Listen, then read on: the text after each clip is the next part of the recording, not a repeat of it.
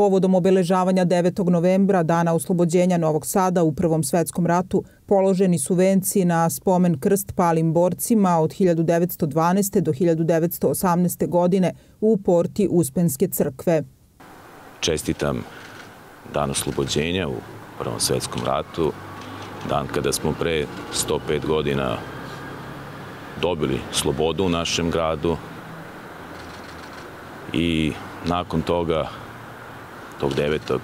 novembra je usledio i ulazak vojske oslobodioca pod komandom majora Bugarskog, koji su propraćeni brojnim ljudima koji su izašli na ulice da slave tu pobedu, što je nakon toga svi ti događaji su krunisani 25.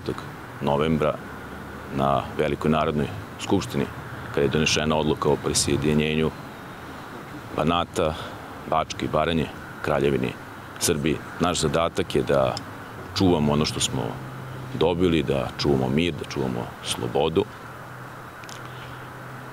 E, ono što smo dobili od naših predaka koji su platili najvećim cenom, a to je ljudskim životima. Danas takođe vreme velikih i brojnih izazova i važno je da ostanemo zajedno, da čuvamo slobodu i mir. Još jednom čestitam svim novosađima dan oslobođenja u Prvom svetskom ratu. Ivan Stratimirović, predsednik Saveza potomaka ratnika oslobodilačkih ratova Srbije 1912. do 1920. zahvalio je rukovodstvu grada i pokrajine što i na ovaj način pokazuju poštovanje prema našim precima. Ovde na današnji dan 1918. godine oslobođen je ovaj lepi grad vojskom Srbije, dobrovoljcima iz ovih krajeva sa vojvodom Petrom Bojovićem na čelu, na čelu prve armije. Srpska Vojvodina, vojvodstvo Srbija 1848. godine kada je proglašena čekala je da se oslobodi zemlja i narod.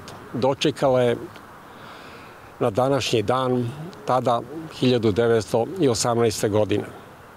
Pomen stradalima održalo je sveštenstvo Srpske pravoslavne crkve. 9. novembar jedan je od najvažnijih istorijskih datuma kada je opredeljena dalja sudbina za generacije Novosađana.